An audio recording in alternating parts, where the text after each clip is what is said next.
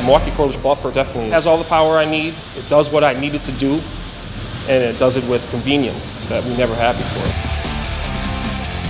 You can manipulate it more because there's no cord getting in the way. And not only is it lighter than a lot of other polishes out there, but you don't have to worry about the cord dragging over the fender of the car while you're doing the hood. It's helpful that it doesn't have a cord just so you can actually focus more on what you're working on. You don't have to worry about the cord smacking into the paint. I do like the way it's balanced. For me, it's just less fatigue, just overall better control.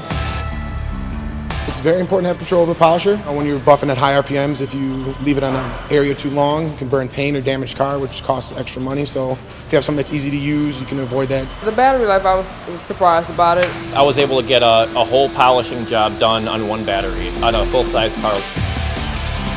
All the accessories that a normal polisher would have, like a variable speed, locking trigger, variable trigger, and a D-handle or a straight handle, those are necessary to do my job. And the Milwaukee Fuel Tool has all of them. The Milwaukee cordless buffer, it is the replacement. It's what I've been waiting for for a long time.